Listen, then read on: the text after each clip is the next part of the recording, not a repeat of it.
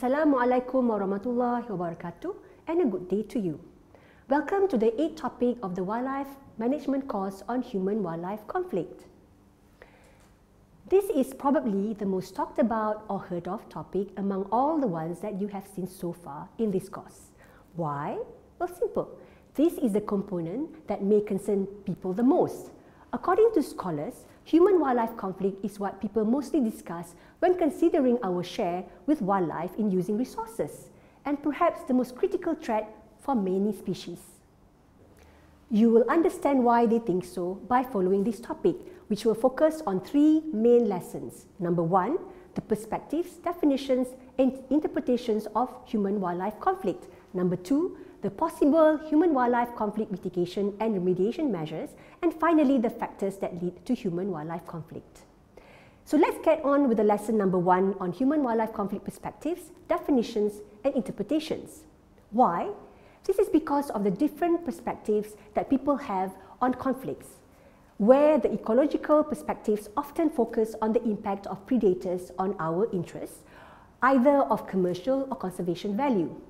The social perspective, however, is broader as the relationship between people's perception on natural resources, livelihoods and their position or stake in the debate are also acknowledged. The result?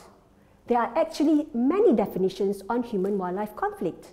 Try googling up the terms and you will find more than a handful, from simple to those that require a bit of thinking. Their interpretations are also divided along the two perspectives but in general, they refer to firstly human versus wildlife that apply to the damages caused by the action of one to the other and vice versa. And secondly, don't be surprised, it's about human versus human where we consider the damaging actions of those of our species that are of extreme ends for or against wildlife protection. You see the image here, which is on the slide number 8 of your lesson note. Why do you think we are looking at a conflict? To get the answer why, clues are in what, who, where, and sometimes when. So what is the wildlife and who is the human involved? Yes, an elephant, and definitely an Asian elephant. I'm sure you too can see that this can't be an ele African elephant, right? And what about the human? If you still don't know, maybe the answer to where the location is can help. Is it in the forest? No. Why not? Because the trees seem to stand at regular distance from each other and at a certain alignment, which suggests that they can have been planted for agricultural purpose. Yes, it's a plantation and some of you may have even expertly recognized it as a rubber plantation. The actual location is in Jambi, Indonesia. Now, knowing that information, who then is the human involved? Yes, an agriculturalist or farmer. So when is the image taken? The image is taken when the elephant is having a midday lunch. So what sort of actions are considered a conflict between human and wildlife? Let's start with the human versus wildlife interpretation first. So again, why are we looking at a conflict? Yes, because the elephant is eating parts of the rubber trees, which is defined as causing damage to human interests. Indeed, this is among the first type of animal damage wildlife do cause substantial losses to agricultural producers annually. Those listed here are just a few examples. Try to think of other examples that you know of in your country. Now look at this map, featured on slide number 10 of your note. Try the same exercise we did before with the elephant to explain why this too is a human versus wildlife conflict. Indeed, there are many health and safety related wildlife conflicts causing sometimes death to humans, which is type 2 of animal damages. They also include accidents in areas where wildlife are known to cross, such as near protected areas, such as forests or marine parks. But do remember that humans are not the only party that suffers damages when such accidents happen. This sad incident in August 2017 costed money to the bus owner but also quite dearly too to the elephant herd that lost their baby. Other types of damages are those that are caused by the natural behavior of certain wildlife. This could have bad consequences to other wildlife or wildlife-related concerns, which is categorized here as type 3 damages. For example, herbivores can destabilize the ecology of important habitats due to overgrazing, while predator species can simply wipe out prey species.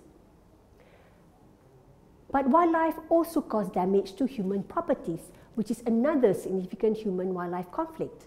Look at the map of central Florida behind me. The hotspots you see are locations where bears have been reported to damage property. Yes, Yogi Bear is out in the hood, not in the woods. Have a look at the full article on this problem by opening the given link. You will see how far from cute bears can seem to those who live near bear habitats and have to routinely face their antics.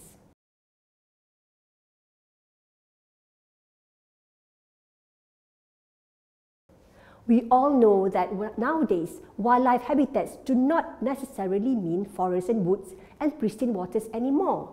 Some wildlife are urbanized, just like big percentage of the human population. Here, for the fifth type of damages, it's not just about property damages anymore, but public life too. Wildlife, just like these Barbary macaques, which are the last surviving natural monkey population in Europe can simply become a public enemy by terrorizing humans who share the city space with them. This monkey business was so serious that no special consideration was even given to their special biodiversity status. Reportedly, the ones caught by the authorities risk facing deportation. The answer to all these damages that wildlife have caused us is none other than animal damage management. In fact, it is a necessary, albeit controversial component of wildlife management. Slides 18 to 31 of your notes offer an overview of the different techniques used to mitigate or remediate human-wildlife conflicts, interpreted so far as actions by wildlife that cause damage to humans.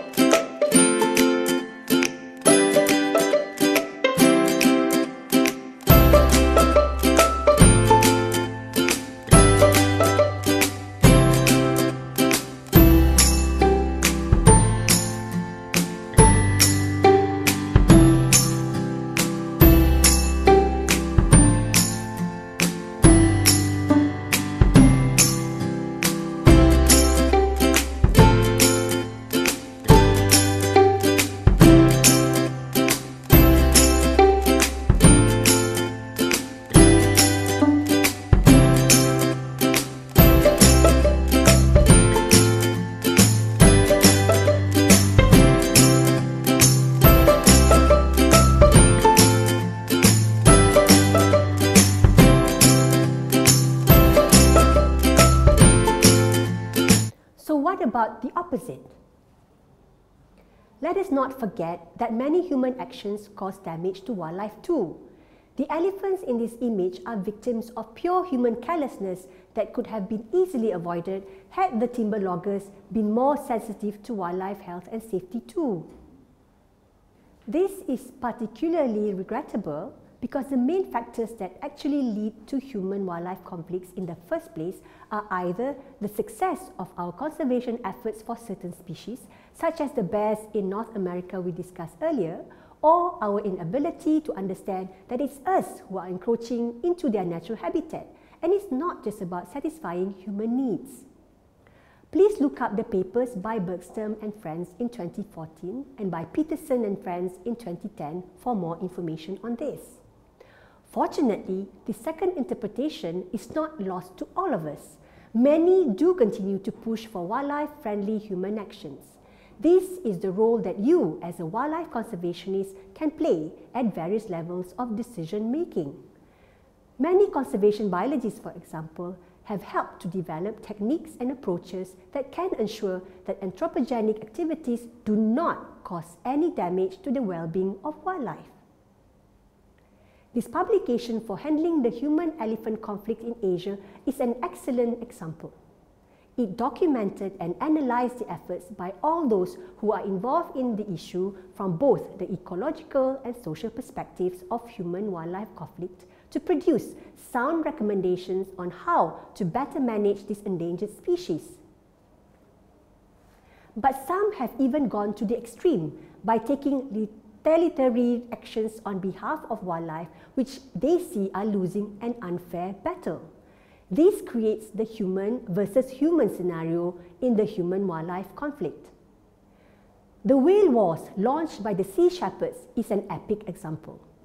Through their monkey wrenching approach, they take their pro-wildlife actions to the open sea against whaling operations with hope to cause damage to the former and stop them to save the whales. But there is again the other side of the coin.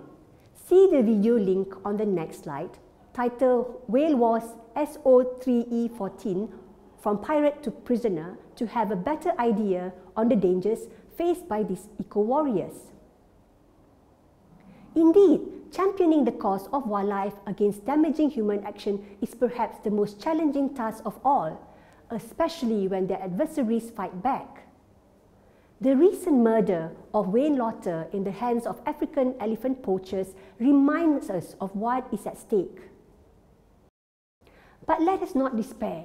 This is not the lesson to bring home from this topic. Instead, I hope that it has enabled you to see that it is important to have both ecological and social perspectives in considering human-wildlife conflict because that may well be the best way to find solutions to end it. With that, I thank you for staying with me until the end of the topic and hope that together we can make this world a better place for all species.